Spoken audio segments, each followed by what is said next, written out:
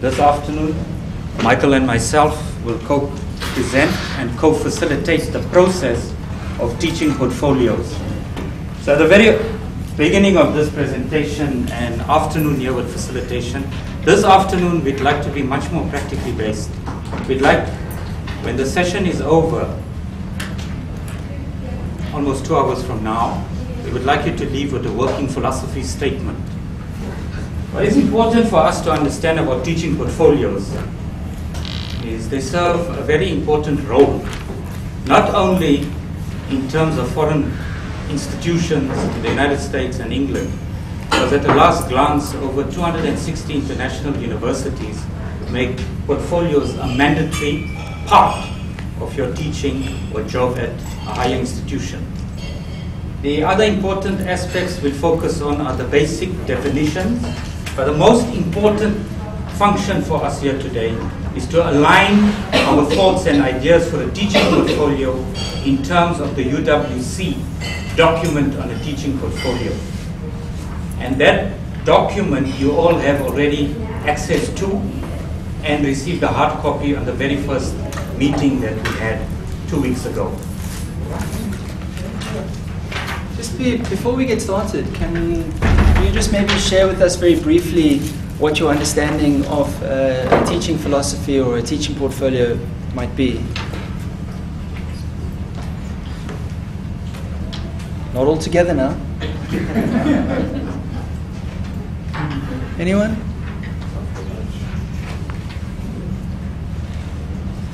I think a teaching philosophy, uh, teaching portfolio is exactly what it is. Uh, evidence of your teaching. Okay. Um, whether it be your, your, your teaching philosophy that's in there, whether it be um, evaluation of students that's in there, whether it is your, your um, academic output, your, your maybe your um, output as the um, as the um, like your um, articles and stuff and your your your your um, your development of your personal development evidence. Right. Whatever's in there goes in there. I think that, yeah? No, I think you're teaching, or you're teaching uh, also about your teaching style, and I don't know, what you do with students, how you try to, you know, interact with the class, whatever you, however you view the class time spent. Right. So it, it's definitely a collection of physical evidence. So what Juliana was saying, it's a collection of things that you would gather that would be evidence of an approach. But it's also a collection of your own reflections, critical self-reflection on your beliefs, your values uh, about teaching and learning. Uh, does anybody else have anything that they want to add? Okay. Okay, the framework with which we'll operate in terms of how we are going to contextualize the teaching portfolio for our context. Obviously, we look at what is a teaching portfolio firstly. And in terms of the Schönwetter text that was made available to you, was a text published a while ago in the International Journal for Academic Development. The key factors that we would like to illustrate before we get to that one is over a period of time, that Seldin reference that I have there for the fourth kind of a definition of what is a teaching portfolio, the key tool for the four kinds that you see there from the various writers on teaching portfolios over the last three decades is the word vehicle. And that word vehicle is a good way in which to start defining what is a teaching portfolio. It captures the physical components that must be there, whether it's your evaluations, your philosophy statement, the theories that inform your teaching, as well as your reflection and reflection of your teaching practice. So if you look at the four pointers raised there in the definitions by O'Neill, Wright, Seldin, and Shaw and Murray, they are vehicles for documenting teaching with the emphasis on demonstrating excellence. And that goes without saying. When we produce work to articulate what we do, we generally would like to paint ourselves in the most positive of light. So obviously the excellence of that needs to be furnished with evidence. And the evidence then would be your actual documentation that corroborates what you are stating. The empowering of educators to gain dominion over their professional lives. Because it's your own product, there's large amounts of subjective analysis that takes place at the initial stage of compiling a portfolio. And what is important in that aspect, that particular definition of empowering the educator to gain dominion, you have control over this teaching portfolio. It's your teaching portfolio. It captures what you do, and it's not necessarily what someone else thinks of you in terms of your teaching. And teaching in the fullest sense, not only when you present yourself in a classroom scenario, as well as the analysis of your teaching, together with the different kinds of components in your curriculum. When you look at the third one that says providing institutions of higher learning with the means to demonstrate that teaching is an institutional priority, according to Bruscombe. At UWC now teaching and learning has been given a very senior status, or status, but seniority in terms of trying to level it with research. Focus used to be for a long time on research, and a lot of people's perceptions of teaching have been secondary. However, the teaching aspect gives preeminence institutionally, which becomes formalized, and the ways in which one can measure what happens is in the academic or the teacher or the facilitator producing this teaching portfolio. It also serves as a means to standardize assessments, but allowing for flexibility in the assessments in an institution. Because the university has various faculties, departments, and each one has its own specific needs. Therefore, it allows that autonomy to the academic who's formulating, as well as the institution, so that it can also illustrate and point out the particular aspects of the teaching and learning that is taking place at the institution. Individualizing faculty development, that is very important. A lot of staff and a lot of colleagues that are here, the ranks that we have vary. Some associate lecturers or junior lecturers, there's an associate or professors here as well, lecturers. To my understanding and what I see in the class, there's no senior professors here that are part of the participants, but as presenters, yes. So all of us have a career path. And at UWC, the ad hominem roles. And how does the faculty then ensure that there is a process and a way in which that individualization can also be monitored and applied fairly and equally. And that is part of the development of staff. It's not only about attending workshops, You've attended workshops, but now you get the opportunity to include it in your teaching portfolio as well. That would fall under staff development and faculty development. We want also talk a little bit about the UWC context and say, well, there's a lot of data out there, a lot of literature and, and evidence that talks about um, teaching portfolios in a, in a generic or international context. And we wanted to try and bring it back to UWC and say, how is this relevant for us today.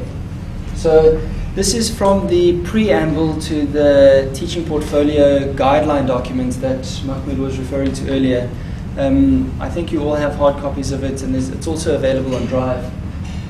So it's a means for you to highlight what you've currently achieved and this is linked to promotion and probation. So when you go for your interviews for promotion and probation, your teaching portfolio is one of the ways where you can now say, here's the evidence that I've achieved in these areas.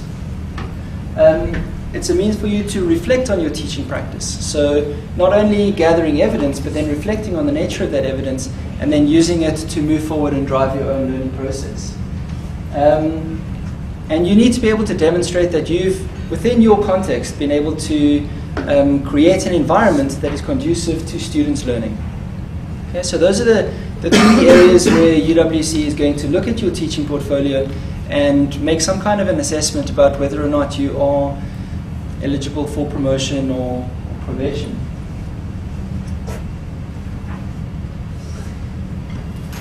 From the institutional operational plan, um, goal two, they talk about we need to provide opportunities for an excellent teaching and learning experience. it's contextually responsive to the challenges of globalization and a society transition and it enhances and which enhances students' capacity as change agents.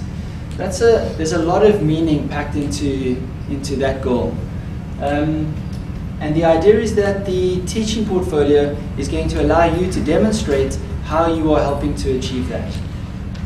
So as a kind of a top level objective, Your teaching portfolio is going to demonstrate how you are fitting in with this goal of the IOP.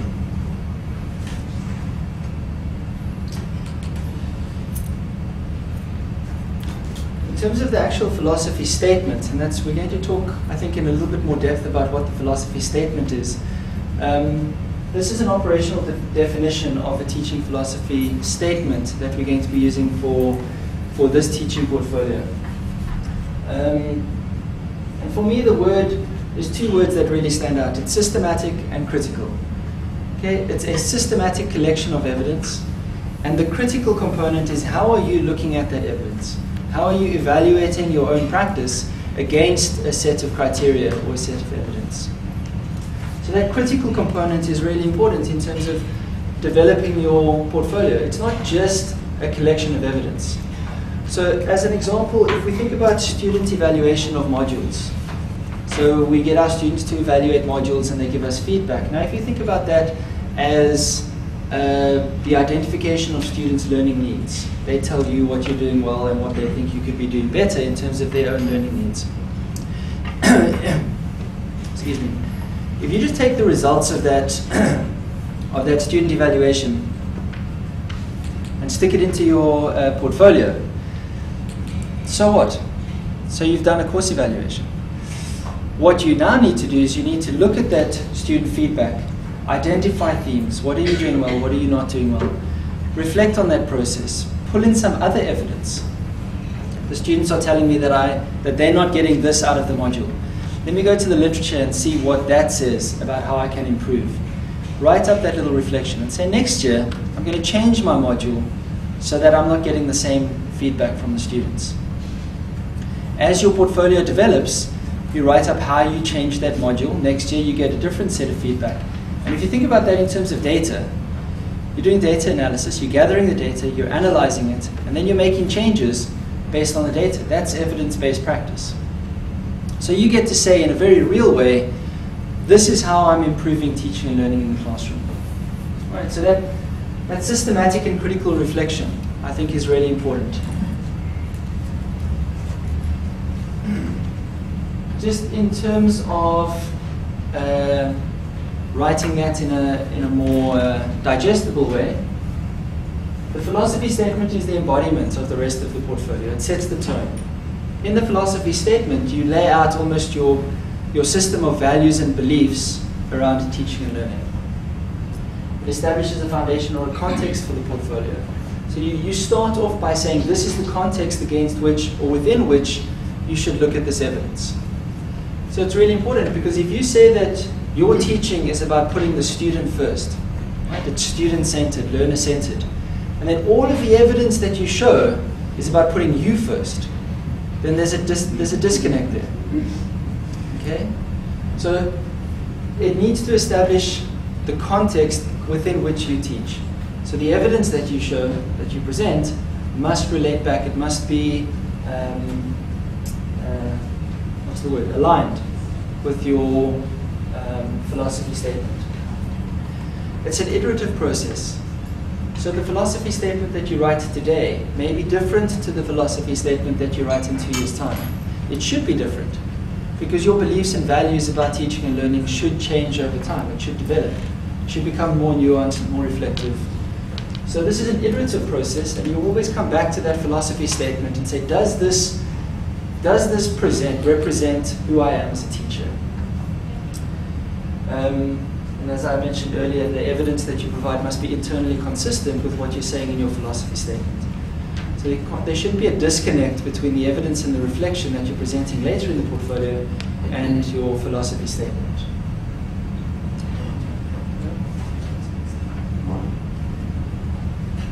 Colleagues, this is what Michael was speaking about, but in a much more diagrammatic arrangement. And the kinds of questions one will ask in the process of developing one's portfolio. I think at this stage everybody understands that a portfolio isn't a finished product.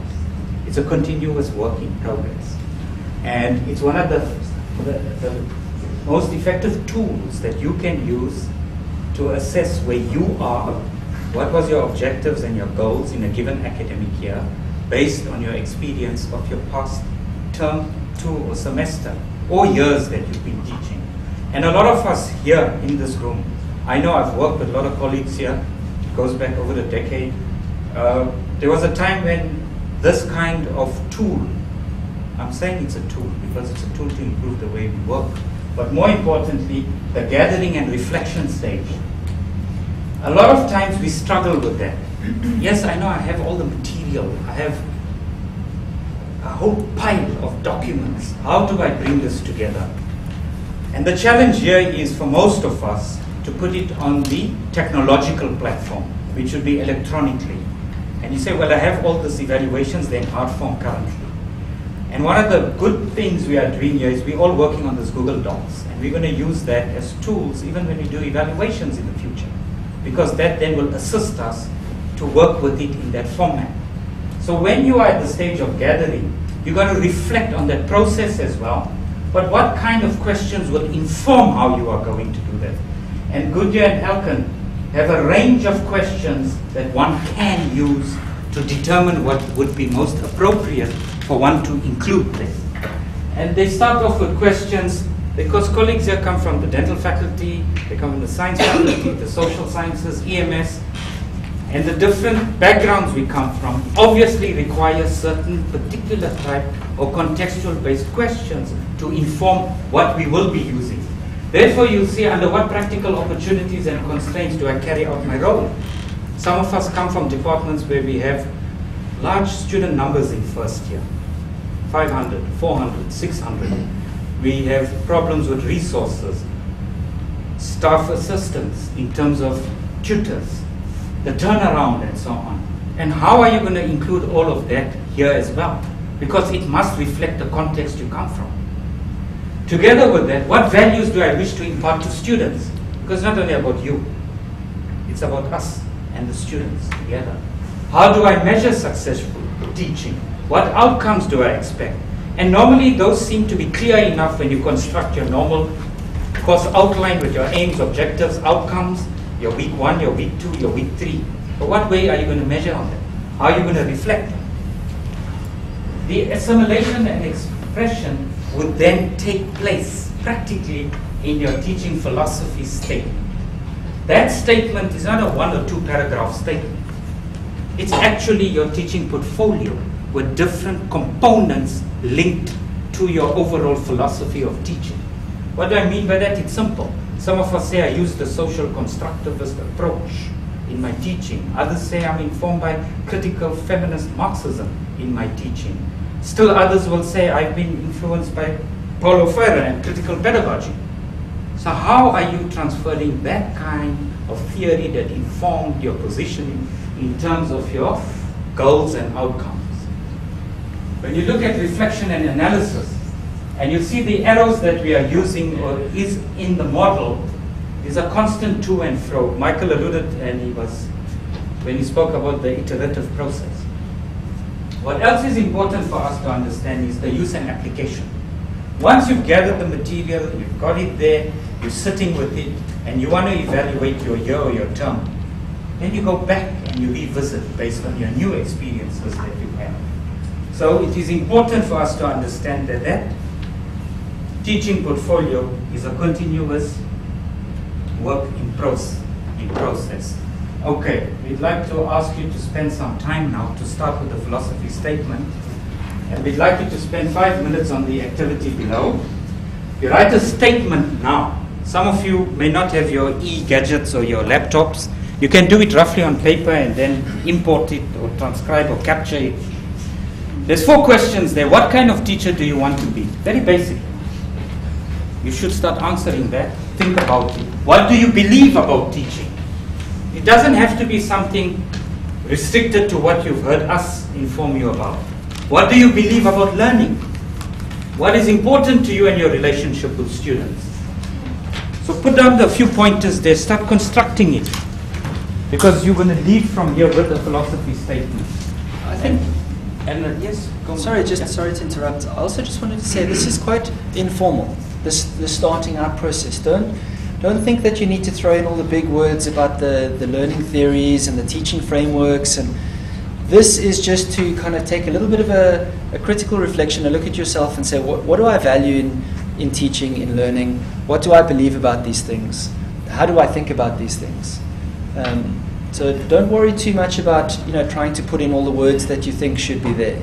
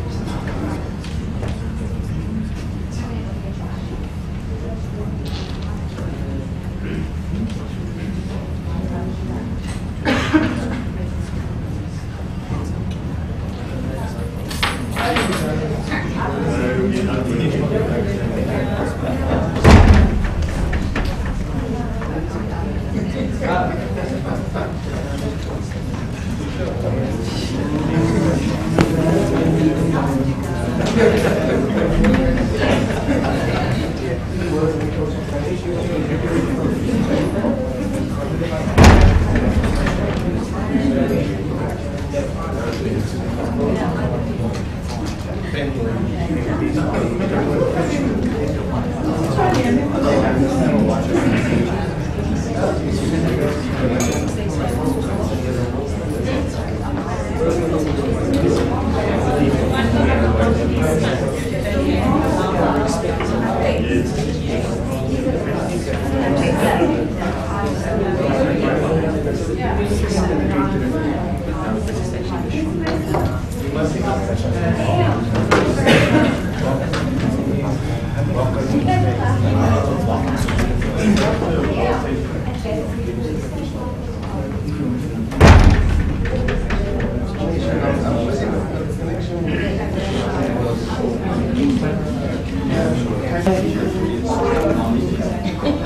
I get?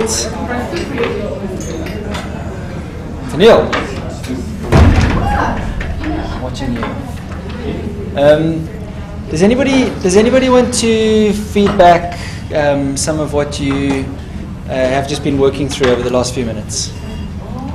Anybody want to share? You don't have to say this is what I believe in the depths of my heart. It's not about that. Well, was there anything that you found difficult? Was it difficult to express what you believe about your teaching? Um, and I wonder if it's maybe because uh, I remember when I sat down and started doing a teaching portfolio a couple years ago. You know, you sit down and you think, well, I've never actually asked myself what I believe about this. It was always just this thing that I did. I walked into a classroom and I taught. You know, now it's I've, what do I mean? What do I believe? Like this is so it's a different way of thinking about your teaching and learning. So, so some of you are kind of people were nodding, saying, "Yeah, I didn't quite know what to do." Um, anybody, anybody want to? Well, I'd like to. I, I, I try as far as possible to, as a teacher, uh, to instill in students the, the idea that not a mugs and jugs situation, that they need to be uh, intrinsically driven. It's come from within them. So I try to inspire students to develop that kind of capacity.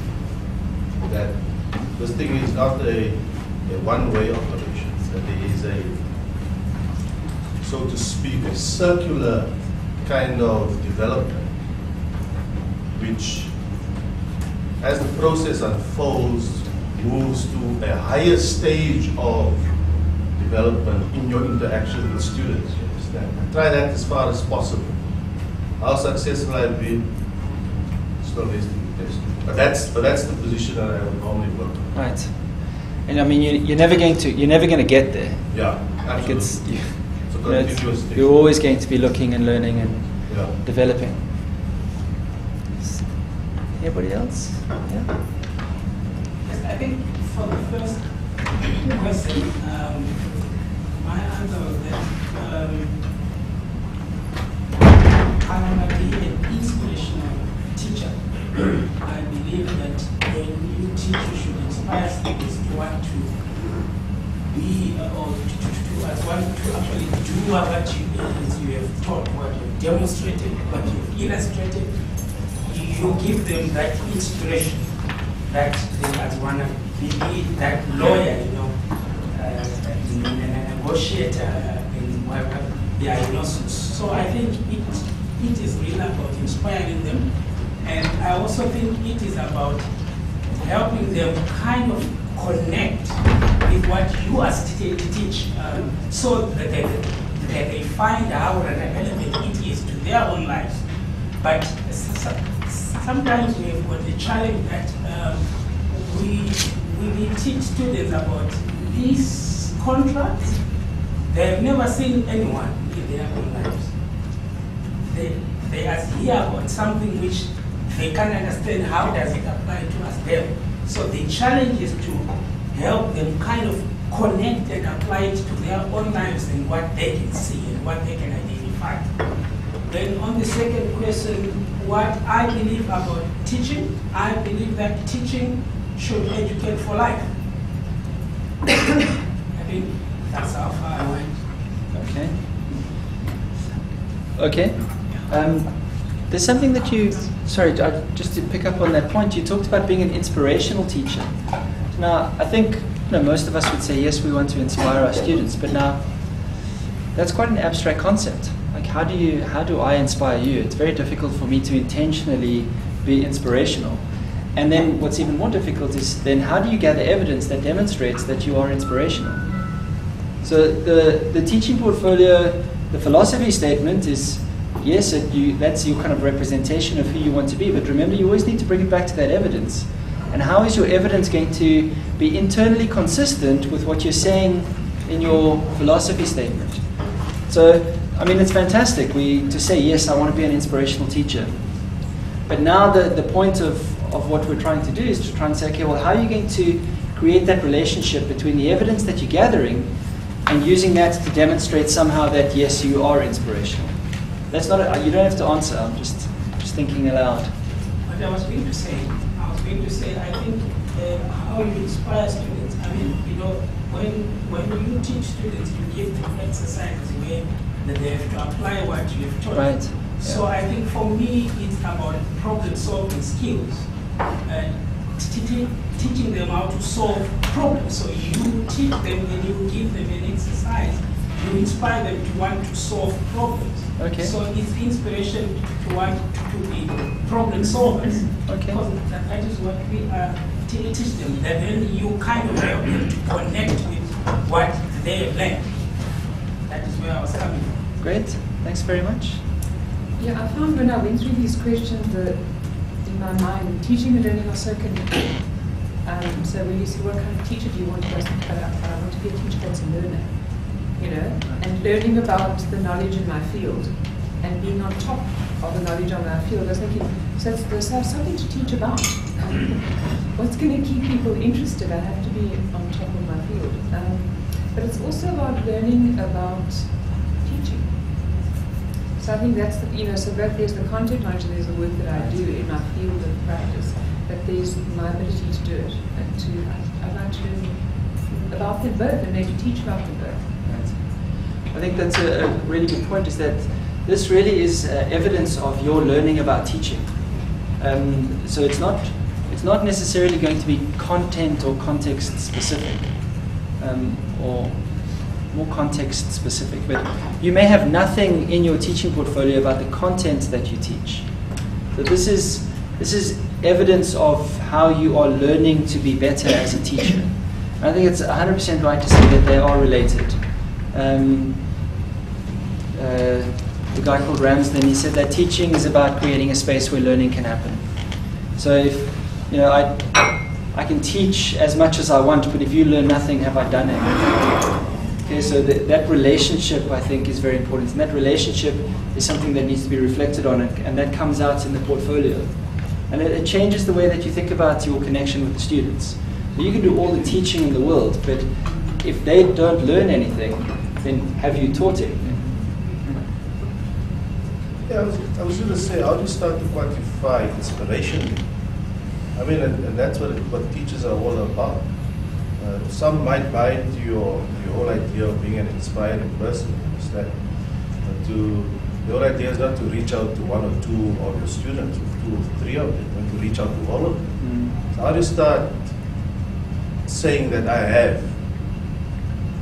I mean, there's a disconnect, if you talk about the portfolio, there's a disconnect between the empirical evidence and this normative thing called inspiration. So, Well, you, uh, what a lot of people do is they actually get, um, uh, I want to call it a, a, reference, but they get their students to to contribute to their portfolios. Your portfolio should include contributions from your students. And so if you've got a, a selection of evidence coming from students saying, you know, coming to your lectures has inspired me to be a better person, to be a better doctor, to be a better lawyer, whatever. You know, there, there's some evidence there. It's difficult to quantify. How do you quantify being an inspiring person? Um, but the way that you think about the kinds of evidence that you gather, I think, can go a long way towards demonstrating some of these more abstract ideas. Um, a lot of guys up on, but part of my philosophy is I spoke about how my teaching and learning in my teaching style has changed. As I've understood my students' needs more and what they need to learn within both the context of my subject, but also the context of where our students are coming from, so has my teaching changed. And I reflect on that in my philosophy because that's where I've grown. Yeah. Um, I came in with, this is how I'm going to teach because that's how I learned as a student and learned that that doesn't cut it. Um, and then all those different ideas and how they came together to now what of teacher I am. Yeah. And your portfolio should reflect on that growth. Yeah. So, in a year's time, it's perfectly appropriate to look back and say, you know, a year ago I thought this, and, and point back to whatever you gathered last year at the same time and said, I can't believe I said this. No, I, I no longer believe this. I, I no longer think in this way. Or I do. This reinforces what I think. And so that kind of back and forth in the portfolio, I think, is, is quite valuable. So it's not about your portfolio. You don't prune and cut away all the things that you don't like anymore. It stays there and you reflect back on that because that's how you show growth. That's how you demonstrate change. If it's only ever a snapshot of where you are at this point in time, then we don't get to see where you've come from. We don't get to see that growth. So it's, it should be time based as well, your, your portfolio. So you should be able to look back into the past and then to also think about what's coming up in the future. Where do I want to be? What do I need to do in order to get there? No, I just wanted to um, the issue of evidence, uh, Michael. I um, I developed a portfolio also a couple about a year ago, and uh, one doesn't realize the importance of the issue of evidence. And just to link with your point about uh, being an inspiration, if that's a huge priority, uh, if you don't know what the portfolio requires, and I think this process really helps with that, if you don't know that the portfolio requires evidence, you actually don't hold on to the things that provide the evidence. So when I pull the portfolio together and I went with yes, inspiration, I want to be a guide, I want to um, uh, give something of myself, and then they say, so where's the proof? I then sat back and thought, oh my gosh, I got these emails from students and I finished off a course and somebody sent me something cute and I got a thank you card on my notice board but I cleaned out my office and I don't have it anymore. Um, it's just a, a, a, a kind of, I now realize that you actually have to be conscious about holding on to those things. It sounds like such an awful technical, logistical thing, but now when students send me an email that says something nice, I actually print it and put it in a box somewhere for whenever I next have to look at this. Um, because you don't realize, you know, you, you read it and in the moment you sort of feel warm and fuzzy, but you don't realize that this is something you should photocopy, punch, and put in a file because the Ruslam is going to over from it, he's going to ask you, so who said this and when did they say it? Um, so it's just a tip for the future is box things. We won't always make it smart and nice immediately, but find a place where you cut it in and keep it. And, and then also just to get away from that kind of technicist approach of just this being a mechanical process of just gathering, then that, that's when the work starts. So now you have the evidence, then there's a reflection, an integration, go to the literature, what does the literature say about this? So there's, and there's that planning for the future. So it's not just about gathering a big pile of evidence, that's just the starting point. And from there, that, that's when you kind of choose the direction that your portfolio is going to go. Okay. Okay, colleagues, now we're going to move on to getting down to exactly what evidence, are you're going to gather it, and what must it conform to. At UWC, there is a document that you all have now. It's called Teaching Portfolios at UWC. And you'll see it's broken up into nine categories or nine subsections, numbered one to nine, and each section has a whole range of questions. I don't think there's anyone who can have every question in all those categories in a teaching portfolio. It's not possible. But elements and sections that would then apply to you should be there in each of those categories, should they be important enough to be there if you do have them. And the first one deals with student learning and your students' learning needs. Using the guideline that you do have, you pick out two or three questions from the slide, the next slide that will be there for those of you who don't have access online. And you need to think about what evidence you can use to corroborate those claims that you would like for your students. Because that's a question Mark, uh, uh, Mark raised earlier. Another colleague spoke about it as well, the quantifying and so on. The important part or component of answering that question is you do have other ways in which you can measure to an extent your successes. And some of them are, for example, certificates, course evaluations, peer review. Peer review is an important component that shifts away slightly from students. And a lot of us have our courses evaluated, besides departmental evaluations and so on. You get a colleague in the faculty or outside the faculty or from another institution that evaluates the subject or the module or the program you teach. And that may be very positive. And that is documentation that you should keep because it's evidence of what you've done from an independent outside specialist. The other important ones are the course evaluations. A lot of us take them, we just dump them in the past, and that was where it ended you know.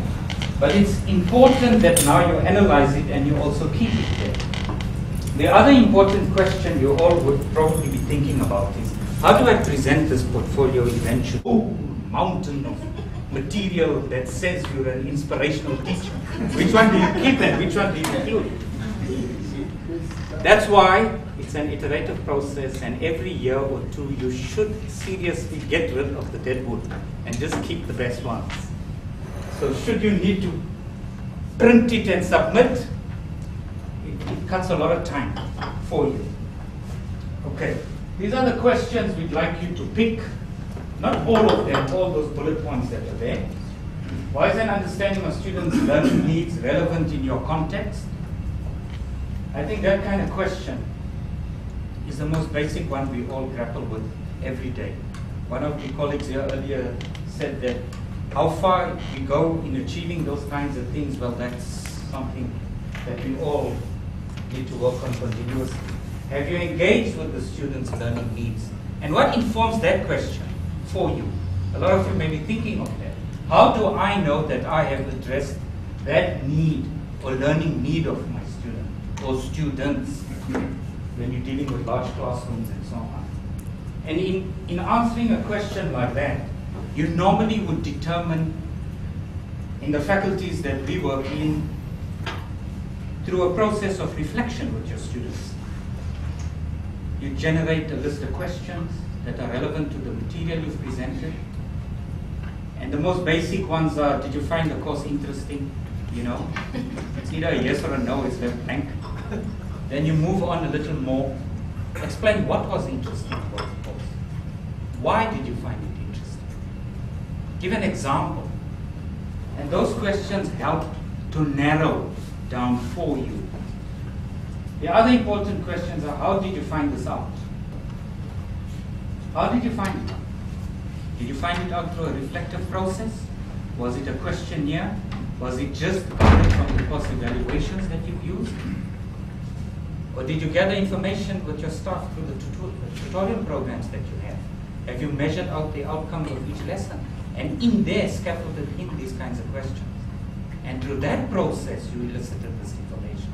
So those are the kinds of ways you can determine or try and gauge or understand your students' learning needs. A lot of these theorists who've written about these teaching portfolios, especially uh, Peter Seldin, he's the one referred to a lot in the literature. Even Schönwetter, the article you have referred to Seldin as well. He was here at UWC uh, more than a decade ago when Terry Folbracht from the AD Center was still here. He gave a whole presentation here as well on teaching portfolios. And it's good that two decades didn't go and at least now it's mandatory, you know. But the point is, what do you still need to know? And in all the literature one has surveyed, it's difficult to understand when will you come to the point that you know everything about your students' learning. I don't think that's that's something that we can focus on. So what do we have? That's what we should focus on. Because now it's an issue of compliance. It's not an issue of abstract philosophical debate. You need to produce a teaching portfolio because that determines whether you promote or not. The other important question one can look at is how do students' backgrounds affect their learning? And you'd see in our context, I think that's a very important question. A lot of times you hear colleagues and staff complaining and bemoaning and all the negativity about our students. They can't write, they can't string two sentences together. They want to be an attorney, they want to be a doctor, a dentist, and so on and so forth. The important thing for us to understand is they come with a culture of learning and a capital that's there with them. Some of them are very techno savvy, and we not. So maybe it makes us feel a bit inferior at times, and then we vent it into other things. But the point here I want to emphasize is how do their backgrounds affect their learning? We've had our students come from the most challenged of public schools, and yet they seem to seamlessly go through their four-year programs. And mm-hmm. others that come from the west of Westerford, they're here for seven years, excluded a few times, so. The other important question for us is what have you done to facilitate that transition from high school to higher education? And that affects us at the first year level, and some of us at the extended curricular programs a lot. Mm-hmm. And then we get flack from the third year lecturers and the honors and masters because they say, what are you doing there first year? You understand? So a lot of us have interventions that we use in our programs to enhance and improve and build on the qualities and the strengths we find from our learners. And we utilize the resources at UWC. Sometimes we use the Writing Center. Sometimes we use the CIECT to help them to access material electronically and otherwise. And a lot of us now do not use e-teaching anymore. We use the iKamva platform because our learners can access it even on their phones of the university premises. So they're struggling to access, and that would also be a useful tool for you to use when you want to communicate with your students as well. right, and using Google Docs, I think we all know now that they are also on the MyUWC. So it makes it easier to communicate on that platform. Okay, colleagues, before we kind of get into this next activity, I just want to kind of lay out you know, what we're going to be doing with the rest of the session. So remember right at the very beginning, Mahmoud said this is going to be a very practical session. And so we're going to spend the rest of the session working through the different sections of a, te a teaching portfolio using the UWC guideline um, as a framework. So there's going to be a lot of writing, a lot of discussion, I hope. Um, but the idea is that you leave today with a very rough outline of a teaching portfolio. And as, the, as this course progresses, you keep coming back to this teaching portfolio. So things that you learn on the course, we want to see that being integrated into your portfolio. Okay, so this is not, this is not an activity for today. Today we're laying the groundwork for what you are going to be building on and using for the rest of the course. Okay. So what we're going to do is we're going to leave the slide up. You're going to work on that for a few minutes, and we'll put up the next slide, will be the next section. If anyone has questions, please feel free to answer. We're going to roam around and see if we can give input. Can I, can I ask one question before? Of course you can. Um, I know that uh, the pass rate, good pass rate is one of the measures of, uh, of a good teacher. And now assume that you are, you are asked to teach a class where the pass rate is always low because of some reason that are beyond your control.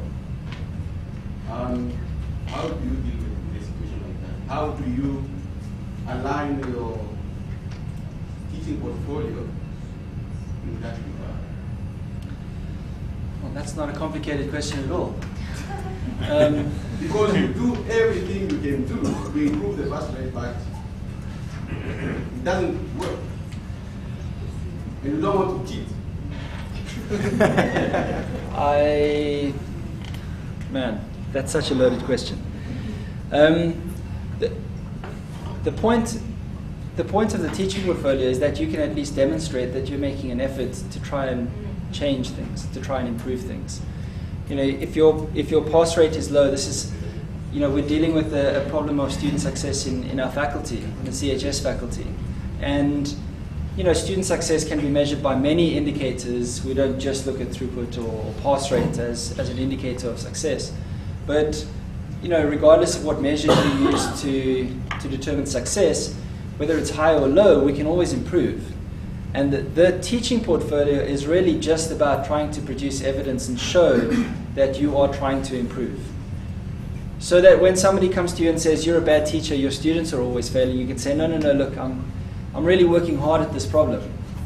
Um, I guess that's, I don't know if anyone else has a, a different answer or a different way of thinking about that, but for me, your teaching portfolio is really just a, a defense. If you're in that situation, it's one way where you can say, look, I'm, I'm really trying hard. Rather than just saying, you know, I don't know if you've heard that thing, you know, insanity is trying the same thing over and over again and trying, expecting a different result. So this is a way for you to say, well, look, I'm trying different things. I'm trying to be better. And if the result is always the same, I don't know. Another important thing you should know with that question, linked to that, uh, Michael, colleague, is remember when you're having this continuous battle to get the pass rates up, it's not only my problem, or it becomes a departmental problem as well because it's flagged as a course that has a, I think the term they use is high impact now. It sounds like some health fitness thing, high impact, or killer course, or whatever you want to call it, right? The point is, that is not a reflection on you as an academic unless there are other factors that have already been done or in terms of intervention and so on. So the question is you work with your faculty teaching and learning specialist. This is the problem I have. They will sit with you and see what you are doing, probably come to your lectures and your tutorials and assist you with strategies to work around improving the learning that takes place with the student and what you are doing gets effectively communicated. And that then must be captured into your teaching portfolio as well as the strategy and what you have done to address them. So that would then ultimately be reflected in your teaching portfolio as well. So you have a grounds of justification say you've done. Okay, so we're just going to spend a few minutes working on this section of the portfolio. This is about your students' learning needs. Please don't start at the top and work your way down. Right? That's, these are just stimuli. These are just ways to get you thinking about the problem of, of your students' learning needs. Okay? So write down a few sentences, have discussions in your groups. We're going to be floating around. Ask us any questions that you may have. Right? And then right at the very end, we're going to uh, give some feedback and some discussion. Okay, so just, just five minutes, colleagues. Just working on, on this particular section of the portfolio.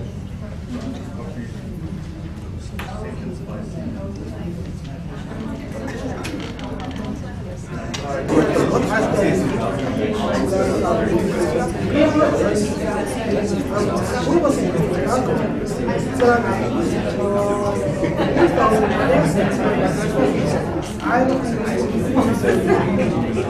customer calls, we will include what understanding somewhat different. So now, so this is very like that. But it's not that, now what I do is to do a lot of the pode ter um problema. Eu não sei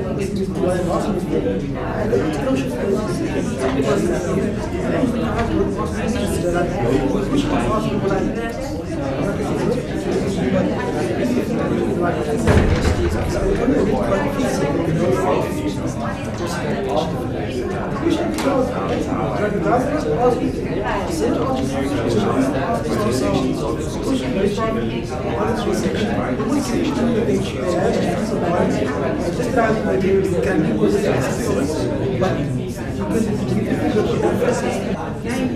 Guys, Ronald, so that your group. Thank you. Thank, thanks everyone. Sorry I had to raise my, I had to use my outside voice. Um, I know that these conversations can be very interesting and but we, we do need to just keep the keep the wheel rolling. So we're going to move on to the next activity. One of the things that I do notice sometimes is that the conversations can become quite generic, generic discussion about teaching and learning in my department, the problems we have, and these are our experiences. And while those discussions can be fruitful, um, we want to make sure that by the end of this session, you're going to leave with a very rough outline of a teaching portfolio. So the, try to try to keep your focus in your groups on the teaching portfolio on the questions. All right. So this is the the next um, the next activity. It's about your approach to learning. Ask about your teaching philosophy. How does your teaching philosophy relate to the UWC context? Learning theories. That might be a little bit problematic because while you may have heard of learning theories, you may not have really engaged with them in any depth. Um, for one of the things that you might write for the learning theory is, you know, I've kind of heard about this thing called social constructivism, behaviorism, whatever. I think that that might be interesting. I'd like to look a little bit more into that. So you write that now as a note to yourself. When you go home tonight, go and look up social constructivism. You say that you say that like it's supposed to mean something.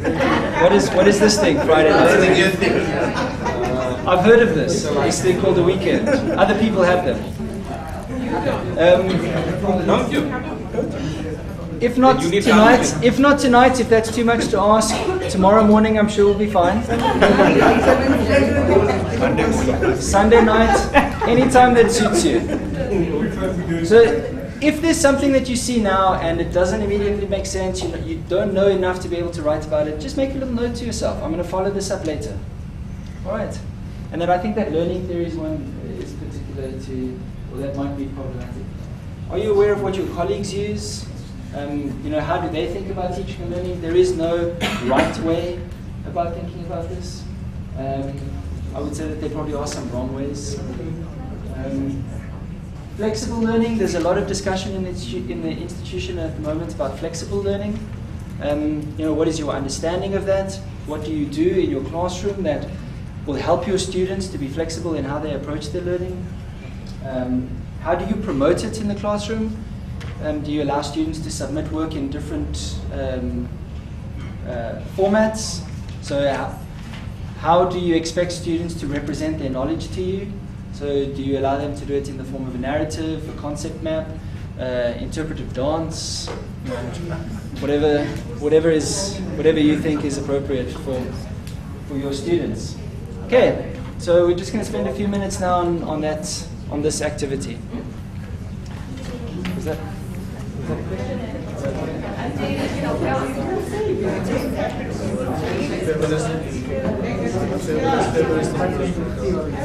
Which of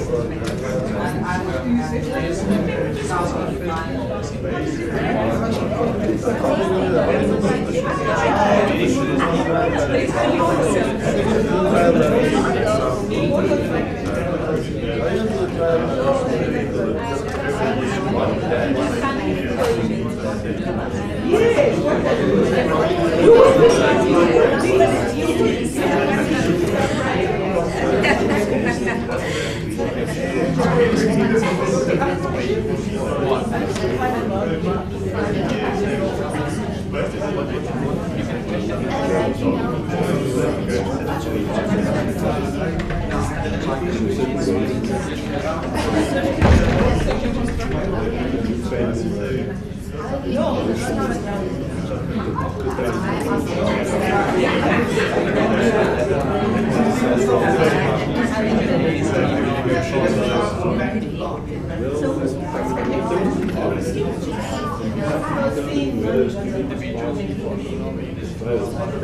following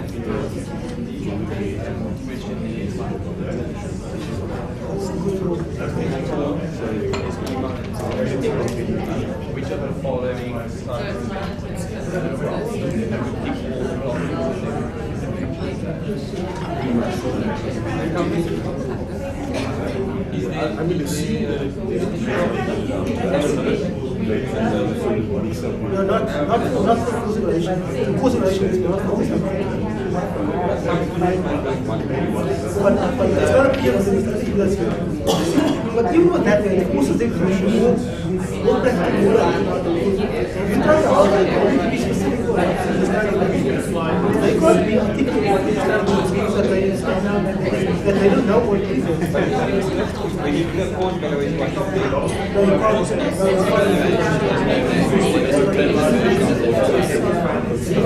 so, so why did, what service?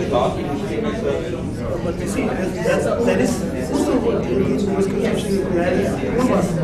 That is supposed to be So more like formative. Yes, that's, I told you, when I talking to asking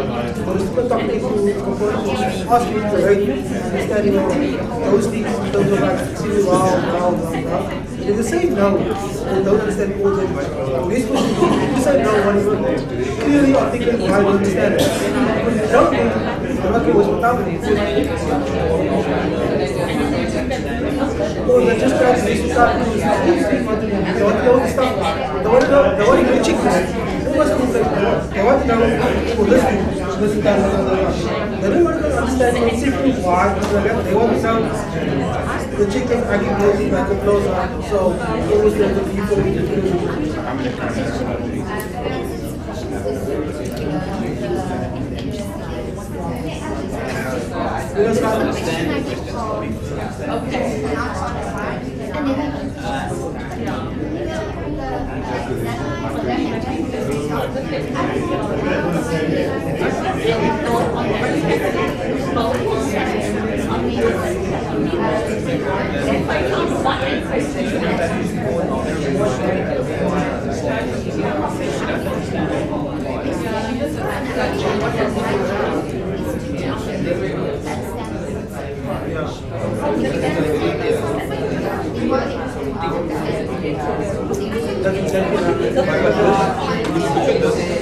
expectation is I understand what you require is a system of support.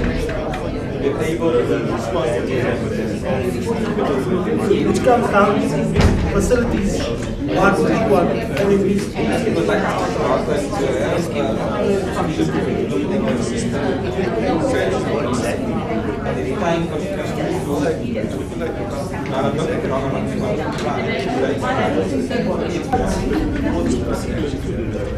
Just to let you know, I've changed the slide. This is the next section curriculum development. We're not going to go through all of these in a lot of depth. You know how it works now. Do you have any questions about the, the context of this slide? No, we Clap This presentation, this presentation will be shared with you on Drive. Okay. Yeah, so all of this content is available. Most of this is actually on that the teaching the UWC guideline. And just to add on that also, colleagues, uh, we'll also give you a, an example of what is a philosophy statement as well from a colleague who submitted this year, so we have TESA National. Not from our institute, from another institute. So you can see comparisons.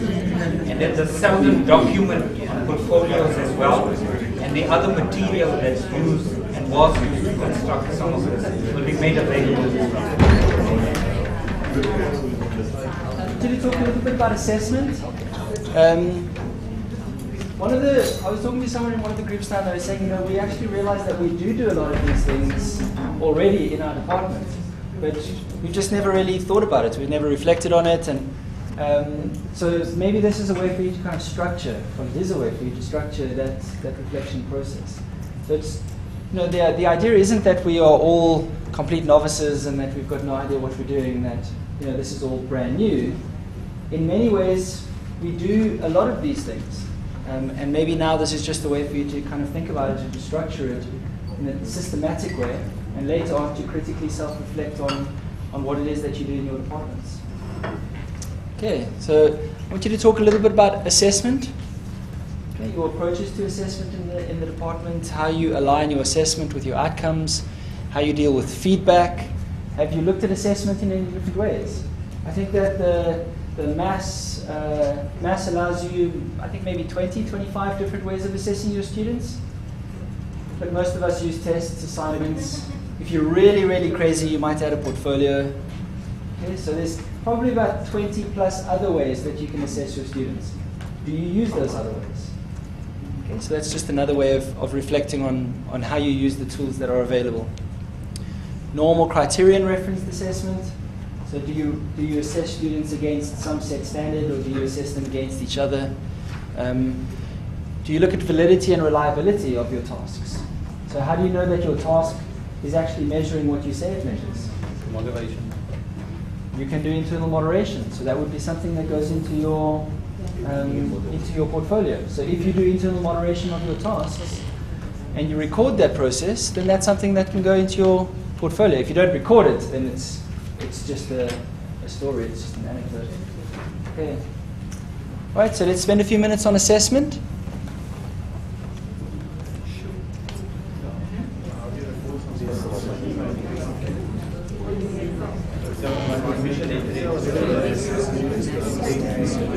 The next activity is, I think, one of the easiest ones. It's an administrative function that you fulfill in various committees. Some of you have served on them already at University of the Western Cape. Some of you will start to serve on them. And this particular section in the portfolio document asks you, in what way have you contributed to taking the project of teaching and learning forward, firstly in your department, in your faculty, institution, regionally, nationally, and internationally. Some of us are only at departmental level, some of us may be at faculty level. And all of you here by default are in some way or the other addressing that question because you are here to improve mm. in terms of your teaching and learning, right? So departmentally as well as personally and professionally. You just have to reflect on the work you've done already or you intend doing and how you are going to. That is all this asks of you. So I give you a few minutes on that and then we'll proceed to the next one. Thank you.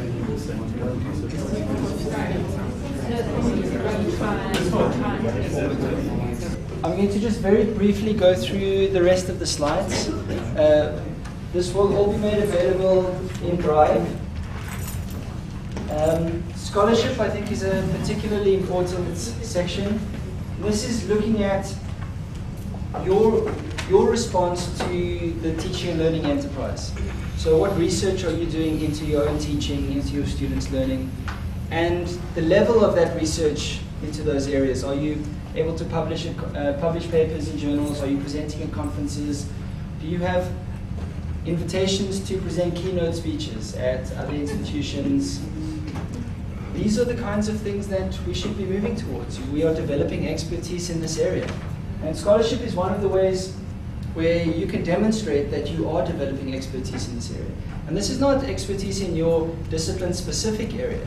This is developing expertise as a teacher. All right? So we are moving towards this idea of, of scholarship, a scholarship of teaching and learning. Um, professionalization of teaching and learning. So what, what evidence can you present that you regard being a teacher as a professional activity? Do you go to workshops, courses? Do you attend formal programs in your department? Do you present formal workshops and programs in your department? Do you plan them? Uh, do you do this at an institutional level, a national level? Um, how are you measuring the outcome to the success of those programs? Technology integration. This, there is a big push at UWC um, and I mean in the rest of the world um, to integrate technology into teaching and learning practices. This doesn't mean to say that using technology makes you a good teacher, um, but technology can amplify. So if you are a good teacher, you can use technology to be better. If you are maybe not so good, then sometimes the technology can actually make things worse. right? The idea isn't to say that you must integrate technology. The idea is that this is a tool that can help your teaching practices Evaluation. So how are you evaluating your own teaching practices? What feedback are you getting from your students, from your peers? Are you evaluating your modules? What goes, what Uh, do you do well? Uh, what can you improve on? Reflecting on that and then looking forward to say, how am I going to address this issue? So when you get feedback from students that say, that say, you know, I don't know, very simple example, I don't like the fact that we always start late. Okay? This is something that is very easy for you to address. Okay, if we're going to talk about time, we expect students to be on time. So do we are we on time? Right? Do we respect their time and say you have to show up at nine, so I need to be there at nine? These are very simple, that's a very simple example. You must respond in some way to your students' evaluation of your teaching practice. So our original idea is that you would now go back and look at your philosophy statement. So having gone through this exercise of examining different aspects of your teaching, you would then go back to your philosophy statement and continue to refine that statement. Okay? But now you'll just do that tonight, obviously, when you go Or tomorrow morning. Whoa, whoa, whoa! I feel like I feel like I'm with my first. Um, there is a paper that's been shared in the participant folder on developing a teaching philosophy statement. We would like you to go through that paper, reflect on it.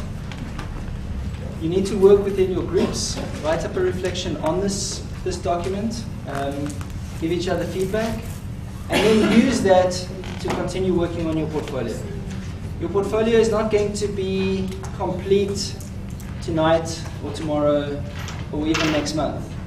Okay, the idea is that you've got a bit of a structure now, a bit of a framework, and as you move through the course, you'll be able to continue adding to your portfolio. All right.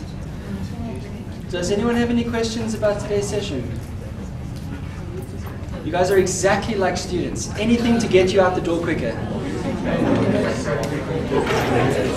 Tips for. Uh, last thing, last thing, Prof. Bozalek has asked us to remind you that some groups have not been participating in the previous homework sessions. Alright?